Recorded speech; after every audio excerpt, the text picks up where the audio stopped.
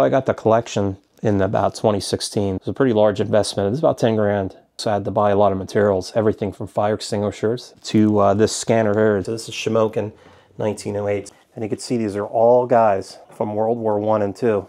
These are negatives that I've scanned already. Over the years, they came in cardboard boxes. Well, I started at the news item. Uh, this will be my 16th year, so late 2008 most of the collection I got in 2016. I graduated from Shamokin in 2000. So I was in college and the last owner of the studio, Ben, put an ad. He was interested in selling the building. Uh, this, this studio was uh, next to YP. It's where Oliver's uh, cigar lounge is now. Uh, but even then, I knew what to ask for if he had any photos of the Vicky and F&S Brewery. You know, I, I, don't think he trusted a lot of people. I would say, "Hey Ben, do you have any photos of the Vicky?" And it was kind of organized chaos because ah, I don't know. I don't know so I would I would purchase some photos, maybe hundred dollars worth. You know, for me that's a lot of money. Know, two jobs. Uh, the next time I'd go back, he, he, got to know me a little better. And he, guess what I found, Larry? Those uh, those Vicky photos. The reason he put the ad out is he wanted to sell the building. In about 06, the Northumberland County Historical Society purchased the whole collection. So that was not only the photos that uh, Thomas Photography took, but also the Shamokin Citizen. About 2015, I approached a the members in a county historical society, which had the collection mostly in their basement. Uh, I made them an offer for all the negatives that are called safety films. So about 1943 on, Kodak actually came out. They used to use silver nitrate, and they actually came out somewhere in the 40s, I believe. What they actually called it safety film. It's actually on their negative uh, because it was safer to handle. Everyone always asks me how many there are in the collection, and it's it's hard to tell. Uh, but I always say scannable negatives, meaning scanning one, not three duplicates. I would say about 80,000. And I'm about 32,500 now. When I bought the collection, I also had to buy a lot of materials, everything from fire extinguishers to uh, this scanner here. It's an Epson V800. Uh, it can scan up to 24 DPI. Anyhow, so uh, I'll, I'll turn this on. This is the noise I've heard for the past nine years.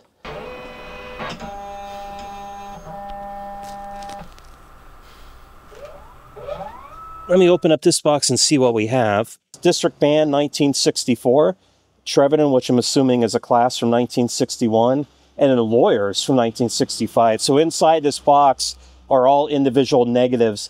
Now, some of these aren't in the best condition. When I got them, they had spots of mold in it. This is 1961 Trevorton High School. So you could see there's some debris on it. So before I would scan it, I would try to clean this up as best as possible. And then because this is larger than my uh, scanner that's, that can fit an 8 by 10 negative, I would scan this in two or three different sections and then merge them together in Photoshop. So you could see 1961 Trevorton High School. That there's no photography mark. Sometimes Paul Thomas would put his watermark on the corners. Along with the collection came uh, a document system in some form. So we'll open up one of these boxes. So obviously last name WE through Z. When someone would order a photo, so I'll just pull this random one out. Uh, so this would be uh, Mr. and Mrs. Weaver their address, what they ordered, and the date. So they ordered something on May 2nd, 1963. So what happens in the corresponding negatives, you'll see in one of the corners a last name and the order number. And that's that's how I can go downstairs then and actually find out when they ordered it. So each one of these I'll scan. I would I don't scan every single one because just like a modern day photographer, they'll take two or three different photos. Uh, uh, but I'll scan probably an average 120 or 130 in each box. These prints here I got before I purchased a collection from the Northumberland County Historical Society. So I got them from Ben, who was the last owner. So these aren't these aren't taken from a negative. There are negatives. Amazing. So this one's from Shamokin. This is 1908. There's no date on it, but I have found the date through another source. You can actually see Thomas's watermark. I'll call it a watermark. It's not a true watermark, but uh, signature, I guess. You can actually see his name, Thomas Photo. So this is Shamokin. 1908. So this would be Raspberry Hill. Yep, there's the cemetery. So this would be Bear Valley Avenue, coming down Market Street. People always ask when they see this, what's this building here?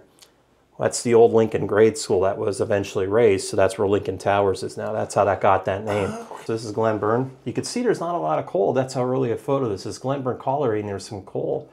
There's really not any coal up here yet. So this here would be 3rd Street. So he, he went up to a, a few houses there up on a hill and just shot straight down. Oh, Glenburn wow. Colliery and Coal Township High School would eventually be built up here. And then the Shamokin High School is further off to the west. So I said 1908. Here's one of these that I was just referring to, the negatives. This one is Academy Grade School, 1932. I'm not sure if Paul took this or Myron, probably Myron, because it's 1921. Uh, the interesting one about this, this is a hardware company in Shamokin. They had some kind of outing, and he used a certain camera. If you noticed, the three guys here on the left are the same three guys on the right. So what happened is he would pan the camera to take this photo. So when he, and he could still do this with modern day cameras, don't, you know, not with Photoshop.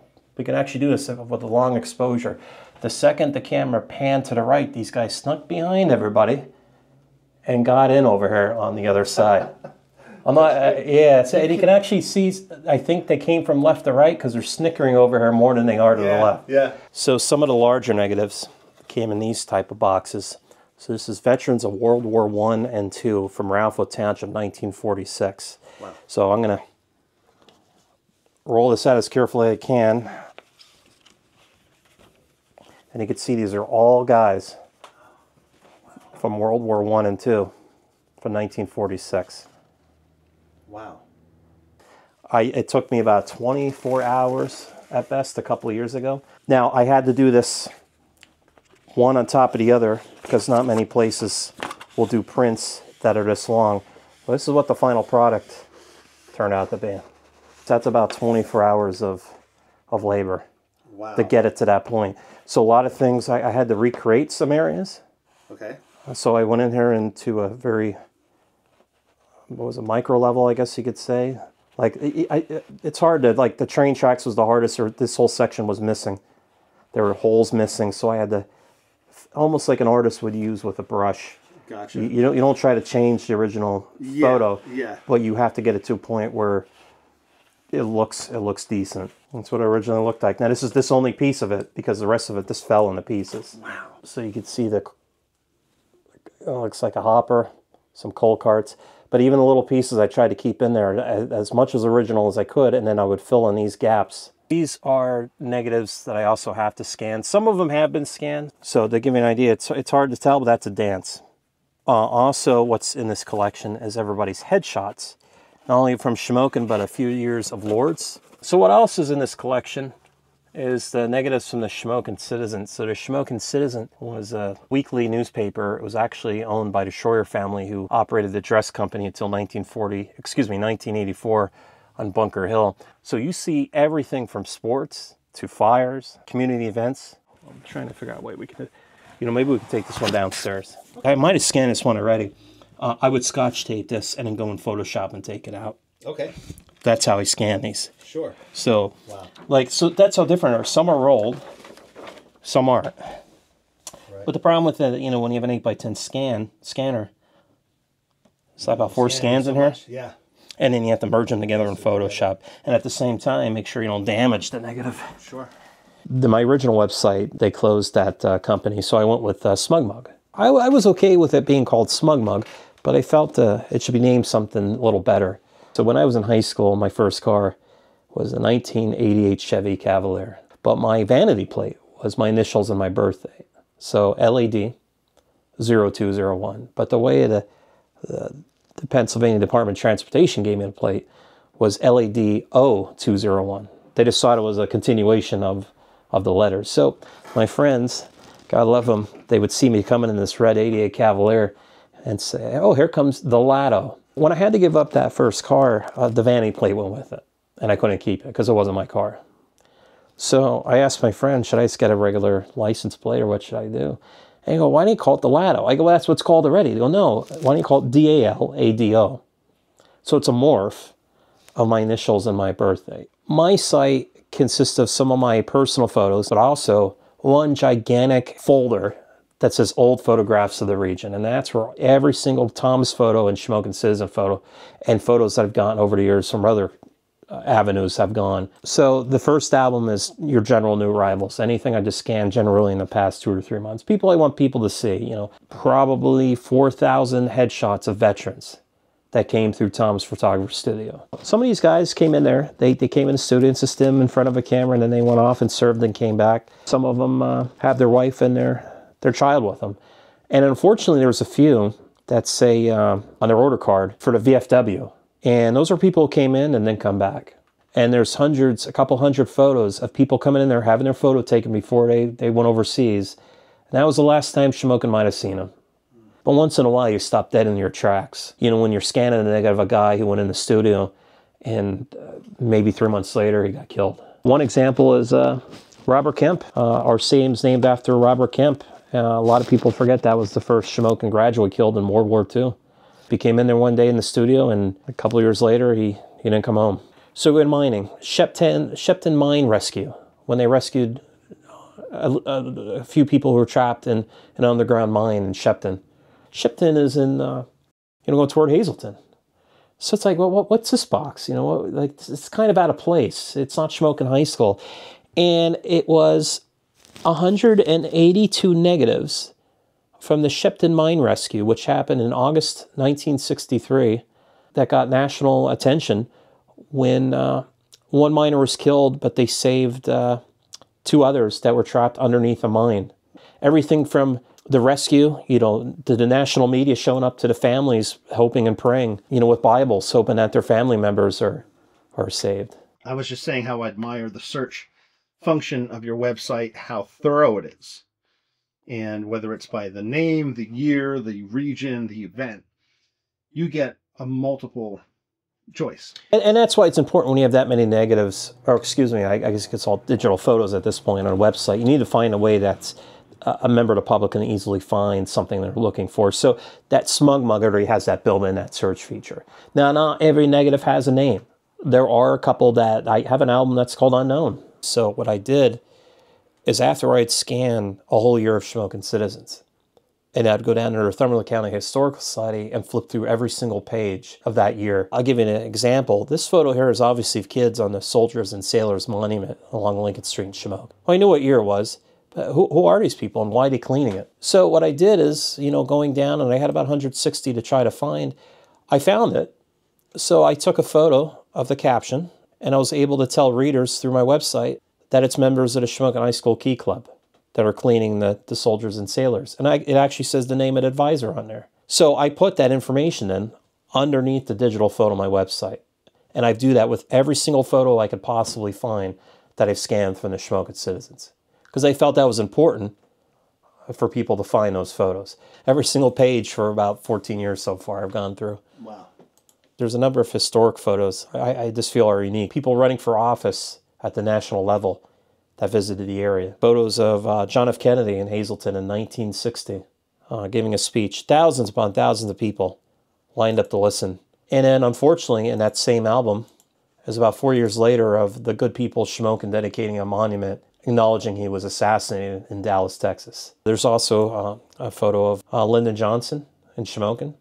There was a woman who contacted me a couple of years ago, and uh, she was visiting uh, a relative who was actually buried overseas. He was killed in World War II. She's bringing sand over from France to sprinkle on the graves of uh, his parents who are buried at St. Ed's. And there was a photo of, he came in Thomas' studio and she's never had the photo before in her life. Never seen it. She never even had a photo. I think it was uh, her grandfather, possibly, uh, but she never had a photo of him before. I sent that to her immediately. Like you could never charge anyone for a photo like that. Uh, but if someone would ever contact me and said that's her grandfather, great grandfather, I can never charge anyone for that. All right, so this is a box I'm currently working on. This is a box of sittings, people coming in the Paul Thomas studio and having their photo taken. I'll put two in at a time. I decided to scan these at 700 dpi. So first thing I'll do, I'll take out the color and then you have to duplicate it because there's obviously two different photos here. So we'll just start from the top one. So what I've learned over the years is that order number, order number up top. So the image would actually be reversed right now. If I can read it, 96413 and Zarek, the negative is actually reversed right now. So what I'll do, I'll reverse the image. I'll flip it horizontally. Then I'll crop it. And then I'll look at a negative here. Well, it's a digital photo now.